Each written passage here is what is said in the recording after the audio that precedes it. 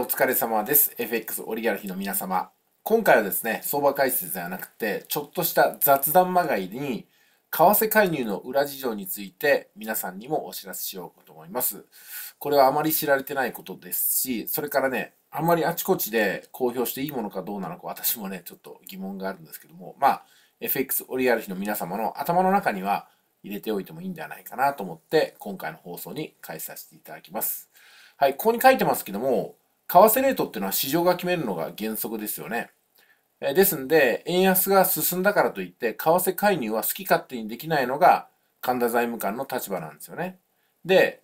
IMF っていうのには、この介入についてもルールがあるわけですよ。まあ、当然、為替操作っていう風になってしまうと、各国の協調は取れませんのでね、え必ず基本的なガイドラインがあって、それについて、うちはどのぐらい介入していいでしょうかねみたいな形で、IMF を通じて様々な国の政策機関と協議をしなければなりません。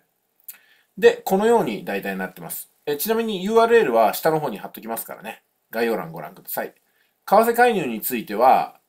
半年の間に3回以内に抑えてくれっていうのが大まな、大まか決まってます。ですんで、この度ね、為替介入が4月29日、30日にありましたんで、あと2回打てるかどうかなんですよ。だから乱発はできないってことですよね。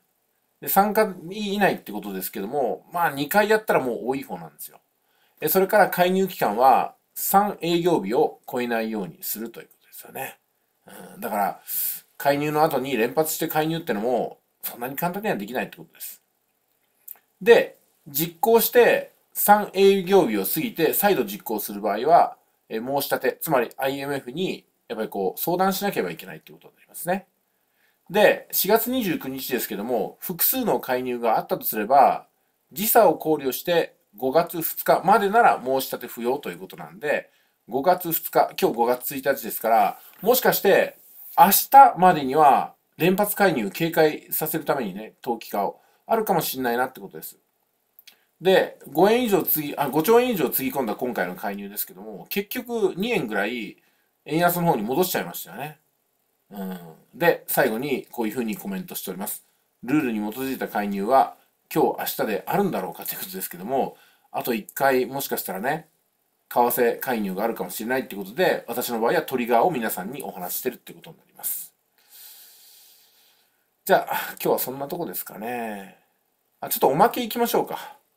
物価の比較ですね。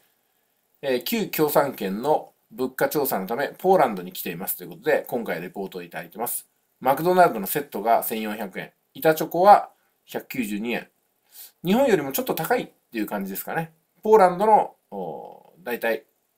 価格差っていうのはそのぐらいです。そんなに激しくはないかなってとこですね。はい、これはおまけでした。以上です。